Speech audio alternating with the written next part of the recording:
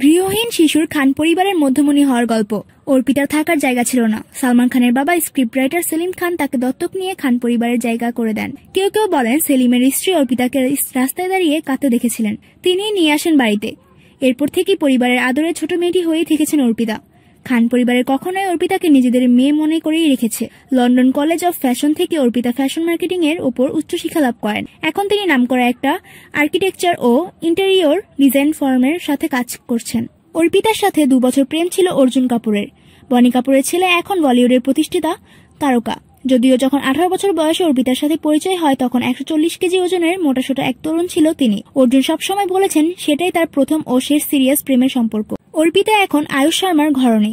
একজন কমন বন্ধুর সুবাদে দুহাজার তেরো সাল থেকে ডেট করছিলেন তারা। দু সালে আঠারো নভেম্বর খান পরিবারের বেশ ঘটা করেই এই দুজনের বিয়ে দেন। যদিও এই জুটির ইচ্ছা ছিল দু হাজার পনেরো সালের শুরুতে বিয়ে করার। তবে সেলিম খান ও সালমা খানের বিয়ের পঞ্চাশ বছর পূর্তির সাথে মিল রেখে আগেই বিয়েটা করতে হয় তাদের। রীতিমতো রাজবাড়িতে বিয়ে হয় অর্পিতার।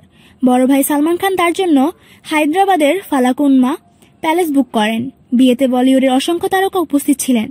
বলিউডের ইতিহাসে জমকালো বিয়ে হিসেবে এটা আজও পরিচিত হয়ে আছে। বিয়েতে উপহার হিসেবে ষোলো কোটি রুপি মূল্যের একটা ফ্ল্যাটও দেন সালমান। অর্পিতাকে আদৌ কখনো রূপালী পদে দেখা যাবে কিনা সেটা নিয়ে ভারতীয় মিডিয়ায় বিস্তর আলোচনা হয়। তবে তার স্বামী আয়ুষের অবশ্য লাভ ইয়াত্রী, সিনেমা দিয়ে বলিউডে অভিষেক হয়। আর সিনেমার জন্য পারলে তিনি নিজের ব্যবসা বাণিজ্য ছেড়ে দিতে প্রস্তুত। খান পরিবার থেকে যে ভালোবাসা পেয়েছেন, বরাবরই তার সম্মান রাখতে জানেন অর্পিতা হাতে পার্মানেন্ট একটা ট্যাটু করিয়েছেন, যেখানে সেলিম খান, হেলেন, সালমা, সালমান, সোহেল আবরাজ আলভিরা মানে পরিবারের সবার নাম লেখা আছে। অর্পিতার প্রিয় বন্ধু দীক্ষারও নাম আছে ট্যাটুতে বাকি আর যে দুটো শব্দ লেখা আছে তা হলো ভালোবাসা আর ভাগ্য। অপর হাতে ট্যাটুতে আছে স্বামী আয়ুষের নাম। আঠাশ বছর বয়সে এই তরুণী মা হয়েছেন এই বছরই। ছেলের নাম রেখেছেন আহিল। বেশ সুখেই আছেন। সংসারী হলেও তিনি ক্যারিয়ার নিয়ে বেশ সচেতন। শিগগিরই হয়তো তার নিজস্ব ফ্যাশন ব্র্যান্ড যাত্রা শুরু করবে। অর্পিতা বরাবরই বলে গেছেন যে, তিনি আন্তর্জাতিক মানের একজন উদ্যোক্তা হতে চান। এরকম আরও তথ্য পেতে আমাদের চ্যানেল ইউনিফর্মটি সাথে থাকুন। আর যদি সাবস্ক্রাইব না করে থাকেন, তাহলে এখনই সাবস্ক্রাইব করুন। আর ভিডিওটি লাইক এবং শেয়ার করুন।